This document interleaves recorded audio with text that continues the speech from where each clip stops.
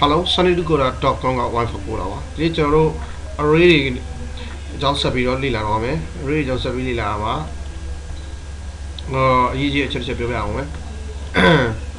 သူကျွန်တော် array ကိုမနေ့ကတိဆောက်ပုံတစ်မျိုးပြောခဲ့တယ်တစ်မျိုးကတော့ကျွန်တော်တို့ array array ကိုတိဆောက်တိဆောက်ပြီးရင်အဲ့ array ထဲမှာထည့်မယ်တန်ဖိုးကို declaration လောက်ပြီးတော့တန်ဖိုးတစ်ခုစီကိုထည့်ပြီးနောက်တစ်ခုကတော့ပို့ပြီးလင်းမြန်တယ်ဒါကတော့ array ကိုတိဆောက်တိဆောက်ပြီးတန်ဖိုးကိုတိုက်ရိုက်ထည့်ပြီးလိုက်ဒါဆိုရင် ကျွန်တော်တို့အဲ Java ကသိတယ်20က array index နံပါတ်0မှာရှိတယ်အမှတ်စဉ်နံပါတ်တုံးကြပါတော့30ကအမှတ်စဉ်နံပါတ်1မှာရှိတယ်40က2မှာရှိတယ်50က3မှာရှိပြီးတော့60က4မှာရှိတယ်ဆိုတော့သိတယ် index နံပါတ်ကိုပြောတယ် okay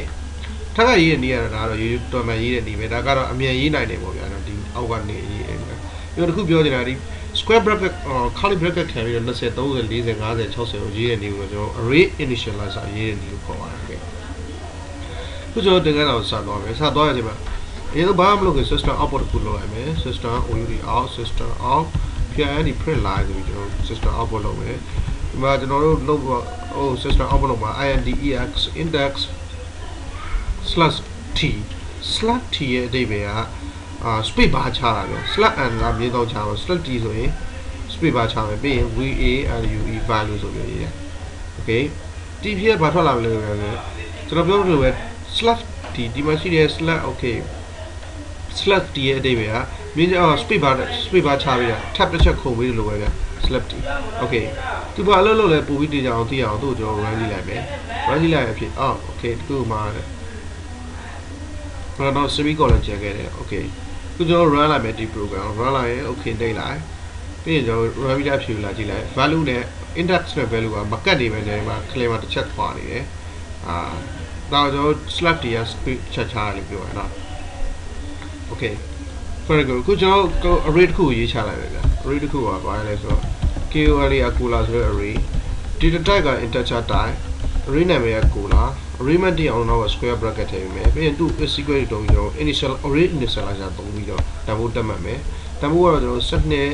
စိတ်တာရေးထည့်လို့ရတယ်192 323 56အာ32 1235 okay 5ခုလောက်ဆိုအဆင်ပြေပြီပြီးရင်ကျွန်တော်တို့ semicolon နဲ့ပိတ်လိုက်မယ်ဒါကတော့ဘာလို့တာလဲဆိုတော့ array တန်ဖိုး array ရဲ့တန်ဖိုးတွေကိုစပြီးတော့ တက်မှတ်လိုက်တယ် array initializer သုံးတယ်ကျွန်တော်တို့သုံးပြီးတက်မှတ်တယ် Cooler the variable initializer remove the cooler assignment okay အဲ့တော့ care ပြီးရင်ကျွန်တော် for loop ကိုရေးမယ် for loop ရေးဘာလုပ်မှာလဲဆိုတော့ကျွန်တော်ကဒီ array ရဲ့တန်ဖိုးတွေကိုအပြင်ထုတ်ပေးမယ် okay ဒါပြောရင်လည်းတိတ်မရှင်းပဲဖြစ်မှာဆိုလက်တွေ့လေ့လာလိုက်မယ် for loop မှာကျွန်တော် variable တစ်ခုတည်ဆောက်မယ် integer type i လို့တန်မယ်ပေးလိုက်မယ် is equal to 0လို့ကျွန်တော်တို့နာမည်စပေးလိုက်မယ် ပြီးရင်အော်0 0ကစပြီးအော် looping လုပ်မယ်ပေါ့ဗျာအဖြေထုတ်မယ်လို့ပြောလိုက်မယ်ပြီးရင်ကျွန်တော်တို့အာသူ့ရဲ့အဆုံးမဒါစတင်မဲ့ပြီးကျွန်တော်တို့ for loop မှာပါတယ်လေအာစတင်မဲ့ရှိတယ်အဆုံးမဲ့ရှိတယ် auto increment ရှိတယ်အခုကျွန်တော်တို့အာ initial value initial value လို့လည်းခေါ်တယ် starting value လို့လည်းခေါ်တယ်စတင်မဲ့ကိုပေးပြီးသွားပြီအဆုံးမကဘယ်အချိန်မှအဆုံးသတ်မလဲဒါတော့ကျွန်တော်တို့ဒီမှာအာ i ဆိုတဲ့တန်ဖိုးက less than ငယ်နေတဲ့အချိန်မှာ hey what's going on less than ငယ်နေတဲ့အချိန်မှာဘုရုအောင်ငယ်နေတဲ့အချိန်မှာလည်း cooler ဆိုတဲ့ variable ရဲ့ c o l a r cooler အော်ဘာဖြစ်နော် cooler ဆိုတဲ့ variable ရဲ့ dot len len g th lan လန်ကူလောင်ဆွဲ variable အရှိလျာအောင်ငယ်နေတဲ့အချိန်မှာကူလောင်ဆွဲ variable ကဘယ်နှခုရှိလဲ1 2 3 4 5ခု9အောင်ငယ်နေတဲ့အချိန်မှာကျွန်တော်ပြောတာအဲကူလာလန့်ဆိုတာကူလာ variable ကူလိုမတာပူလုံထားတဲ့ sequence တန်ဖိုး list တန်ဖိုးရဲ့အာကူလာ ကူလာဆိုတဲ့ array မှာတူလောင်ထားတဲ့အဲတန်ဖိုးတွေရဲ့အာအဖြစ်ပမာအော်အရေးအတွက်အရေးအတွက်အောင်ငယ်နေတဲ့အချိန်မှာအဲ့ဒီအရေးအတွက်ကိုကျွန်တော်က cola.lamp ဆိုပြီးခေါ်လိုက်တယ်ဒီ cola.lamp ကဘာပြောလဲဆိုတော့ဟဲ့ဒီ1 2 3 4 5 5ခုအဲ့ဒီ5ခုကိုကျွန်တော် cola lamp လို့ခေါ်လိုက်တာ cola ဆိုတာ array အဲ့ဒီ cola ရဲ့ဒီမှာကျွန်တော် cola ပြန်ရေးတယ်အဲ့တော့ cola ရဲ့ဆိုရဲ array ရဲ့ lamp အရှိအလျာပြောချင်တာသူ့ရဲ့တန်ဖိုး initializer အဲ့ မှာပါတယ်သူ့ရဲ့တန်ဖိုးကိုပြောချင်တာတန်ဖိုးကဘယ်နှခုပါလဲ5ခုပါတယ်အဲ့တော့ lamp ဆိုတော့5ပေါ့ဗျာနော်အဲ့တော့ cola ဆိုရဲမှာပါတယ် lamp ဆိုတော့အရှိရတာဘာနဲ့ပြောတူလဲဆိုတော့ i က less than 5ဆိုတော့ကျွန်တော်တို့အဲ့ဒီတန်ဖိုးနဲ့သွားတော့ဘာကြောင့် less than 5ဖြစ်ရတာအောင်ကျွန်တော်တို့က cooler ဆိုရဲ array ရဲ့အရှိလျားဖြစ်တဲ့အော်သူ့မပါဝင်တဲ့တန်ဖိုးတွေရဲ့ဘယ်နှခုပါလဲဆိုတာအဲ့ဒါကိုပြောတာ len gta launch အဲ့တော့ ကိုလိုင်းမှာပါတဲ့တန်ဖိုး9ခု9ခုရှိရဲအဲ့ဒီတန်ဖိုး9ခုကိုကျွန်တော် looping around လုပ်ပြီး anti auto increment ဘယ်လိုတော့မလဲ i plus plus ဆို i plus plus ဆိုပြီးတော့မယ်ပြီးကျွန်တော် add နေမယ် add နေပြီးတော့โอเคချက်ကအတိုင်း looping around လုပ်ရင်ဘာဘာအဖြေထုတ်ပေးမှာလဲ len g t h h t ဖြစ် len g t h လန်အရှိလေရโอเคဒီမှာလန့်ကကျွန်တော်တို့ရေးလိုက်တော့ကျတော့အယောင်ပြောင်းသွားတယ်ဘာကြောင့်လဲလန့်က Java big in subject ဖြစ်နေတယ် big in အာ big in function ဖြစ်နေတယ် big in function ဖြစ်နေတယ်ဆိုတော့သူကကျွန်တော်တို့ဘာပြောလဲဆိုတော့သူက TV လားသူ့အလုပ်လုပ်ခိုင်းတာလန့်လို့ကျွန်တော်တို့ရိုက်ထည့်တယ်လေသူကအဲ့ array initializer တွေကတွားပြီးတန်ဖိုးရဲ့အရေးအတွက်ကိုတွားယူမယ်ဒီထဲမှာထည့်ပေးလိုက်မယ်အဲ့တော့ i ဆိုတဲ့တန်ဖိုးကကိုလာလန့်အောင်ငင်းနေတယ်ဆိုရင်ကိုလာလန့်ဆိုတာဘာလဲအာ array initializer ထဲမှာပါတဲ့တန်ဖိုးရဲ့အရေးအတွက်အဲ့အရေးအတွက်အောင်ငင်းနေမယ်ဆိုရင်အဲ့ဒီအရေးအတွက်က9ခုရှိတယ်9အောင်ငင်းနေမယ်ဆိုရင်ပေါ့နော်ပြီးရင်အဲ့ဒါဆိုရင်ကျွန်တော်တို့ system output လုပ်ပေးမယ် system out.pind print print ထုတ်မယ်ဘာကို print ထုတ်ပေးမယ်ကျွန်တော်တို့အရင်ဆုံး i ကို print ထုတ်ပေးမယ် i ကိုဘာကြောင့် print ထုတ်ပေးမှာလဲဆိုတော့ i က array initialize အော်ဒီမှာသွားပြီးတော့ဒီမှာ looping around လုပ်တယ်တုံညကနေတုံညကနေ9အောက်အထိ looping around လုပ်ရင်တုံည1 2 3 4ဆိုပြီးတော့အဖြေထွက်လာမယ်အဲ့ဒါကိုကျွန်တော်တို့အဲ့ဒီအဖြေကိုလိုချင်လို့ okay ပြီးရင်ပို့ပြီးရှင်းသွားမယ်ပြီးရင် plus နှိပ်မယ်ပြီးရင်ကျွန်တော်မြင်းချောင်းခံအမြင့်ဆောင်ခံလိုက်ဟို space bar တစ်ချက်ချလိုက်မယ် space bar တစ်ချက်ထားပြီးတော့နောက်ထပ် plus ထပ်ထည့်မယ်နောက်ထပ်အဖြေထပ်ထုတ်မယ်နောက်ထပ်အဖြေကတော့ KO အလီယာကိုလာဆိုတော့ array ကိုဖြေထုတ်မယ်ဒါပေမဲ့သူ့ကိုကျွန်တော်တို့က index number နဲ့ခေါ်မယ်ဒါပေမဲ့ index number အတိအကျဟာကိုကျွန်တော်သိပြီလားအော်တိတော့တိတယ်ဒါပေမဲ့ index number တစ်ခုတည်းကိုကျွန်တော်ထုတ်မှာမဟုတ်အားလုံးကိုထုတ်တော့မှာဖြစ်တဲ့အတွက် index number index number အားလုံးကို looping around လုပ်လိုက်မှာ i ဖြစ်တယ်အဲ့ဒီ i ကနေပြီးတော့ for loop နဲ့ looping around လုပ်မှာအဲကြောင့်မလို့ကျွန်တော်ဒီမှာ i လို့ထည့်ပြီးလိုက်ပြီး and ကိုတွားပြီးတော့ semicolon နဲ့ပေးအားလုံး okay သွားပြီကျွန်တော် program run ကြည့်မယ်အဖြေပါရလဲလို့ okay နှိပ်လိုက် ပြီးရင်ကျွန်တော် console ကိုတွားလိုက်ဒါဆိုရင်3ည1 2 3 okay ပြန်လာနည်းနည်းရှိနေတယ်ကျွန်တော်ဒီလိုဖြေထုတ်ချင်တာမဟုတ်ဘူးအဲ့တော့ဘာတော့လုပ်ရမလဲ print မှာ print လို့မထုတ်ဘဲနဲ့ print line လို့ထုတ်ပါ print line လို့ထုတ်လိုက် okay အော် okay ဝိုင်းပြန် save မယ် save ပြီးရင် okay နှိပ်လိုက်မယ်ပြီးရင် run ကြည့်လိုက်မယ်အဲဆိုရင်တော့ကျွန်တော်လူချင်းတဲ့အဖြေတိုင်း3ည1 2 3 4ဆိုတဲ့ပုံတော့ looping around ရှေ့မှာ index ဆွဲအောင်မှာထုတ်ပြီးတယ် value ကိုကြတော့12 192 23 56 32ဆိုပြီးထုတ်ပြီးတယ် okay program အလုပ်လုပ်သွားတဲ့ပုံလေးကိုကျွန်တော်ပြန်ပြောပြမယ်ဒီတော့ကျွန်တော်တို့ cola ဆိုတဲ့အဲ array တစ်ခုကိုတိစောက်တယ်အဲ့ဒီ array မှာ array initializer သုံးပြီးတော့ကျွန်တော်တန်ဖိုးတွေကိုထည့်တယ်တန်ဖိုးက5မျိုးရှိတယ် okay ပြီးရင်ကျွန်တော်တို့ for loop တော့ပြီးရင်ကျွန်တော် for loop သုံးပြီးတော့3ညကနေပြီးတော့5အထိ3ညကနေပြီးတော့ cola ဆိုတဲ့ array တန်ဖိုးရဲ့အရှိ array တန်ဖိုးတွေမှာရှိတဲ့တူလောင်ထားတဲ့ အဲ element တွေရဲ့အရှိအလျားကိုအောင်ငယ်တဲ့အထိလှုပ်လှုပ်မယ်လို့ပြောတယ် element တွေရဲ့အဲအရေးတော့က9ခုဖြစ်တယ်အဲကြောင့်မလို့9အောင်ငယ်တဲ့အထိလှုပ်လှုပ်မယ်လို့ပြောလိုက်တယ် i ဆိုတဲ့ variable i ဆိုတဲ့အဲ variable อ่ะ okay ပြီးတော့ i set variable အလုပ်လုပ်တော့ရဲ့ပုံကအာမို့ရှင်းဆွဲတန်ဖိုးတစ်စီပေါင်းထည့်ပါမယ်လို့ကျွန်တော်ပြောတယ် auto increment နဲ့ဒီတော့ကျွန်တော်တို့ for loop ကိုလေ့လာခဲ့တဲ့လူတွေမှများသိပါတယ် i ဆိုတော့တုံညဖြစ်နေတယ်တုံညကနေစပြီး looping around လုပ်မယ်ဆိုရင်တုံည1 2 3 4ရတယ်။ဘာကြောင့်လဲ less than ပြန်ဖြစ်နေတယ် less than is equal to ဆိုရင်တော့တုံည1 2 3 4 5ပေါ့ okay ပြီးတော့အချိန်မှာအဲ့ဒီအချိန်ဒီအားလုံးအဆင်ပြေသွားပြီဆိုကျွန်တော် system output လုပ်မယ် output လုပ်တဲ့အခါမှာကျွန်တော်တို့ ion အဖြေထုတ်မယ် ion အဖြေထုတ်မယ်ဆိုရှင်းရတယ်ဒီမှာကျွန်တော်တို့ ion အဖြေကိုရှာခဲ့တာက looping around လုပ်တယ်3ည1 2 3 4အဲ့တော့ ion အဖြေထုတ်မယ်ဆို3ည1 2 3 4ထုတ်မယ်ပြီးရင်ကျွန်တော်တို့ tab တစ်ချက်ခုန်လိုက်တယ်အော် space ချက်ချလိုက်တယ် space ချက်ချလိုက်တဲ့အတွက်ကြောင့်အဲ့ဒီအဖြေမှာကြည့်ပါလားသူက space ချက်ချပေးထားတယ်ဒီအောင်ခက်လဲပါ okay ပြီးရင်ကျွန်တော်အဖြေထုတ်မယ်အဖြေနောက်ထပ်အဖြေရကြတော့ plus ထည့်ပြီးတော့ polar ဆိုတဲ့အဲ array ကိုအဖြေထုတ်မယ်လို့ကျွန်တော်ပြောတယ်ဒါပေမဲ့သူ့ရဲ့အထဲမှာရှိတဲ့တန်ဖိုးက array တုံညဆိုရင်ဘာထည့်မလဲ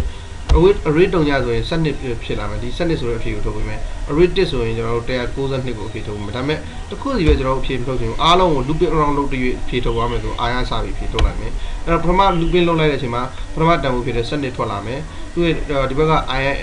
အော် i ဆိုတဲ့ အဲ variable ကို looping around လုပ်တော့တုံညထွက်လာမယ်အဲ့တော့တုံညရဲ့7ရဲ့ဖြစ်သွားမယ်အာ program လေးကလွယ်ပါတယ်အများကြီးတော့တင်ပြရမလို့အခုပဲတတိထားမှာကျွန်တော်တို့က color length ဆိုတာကဘာကိုခေါ်ရလဲဆိုတော့သိကောင်းကောင်းသိရမယ် color length ဆိုတာက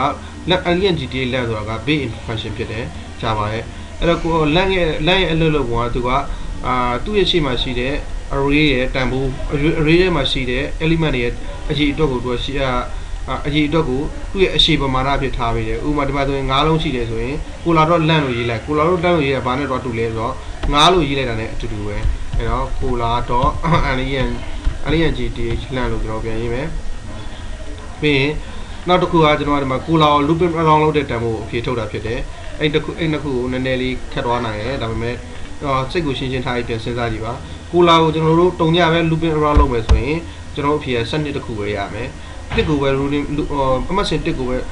index number တစ်ကိုပဲ looping around လုပ်မယ်ဆိုရင်192ပဲရမယ်အဲ့တော့ကျွန်တော်တို့ကအဲ့လို looping around မလုပ်လို့ထင်ဘူး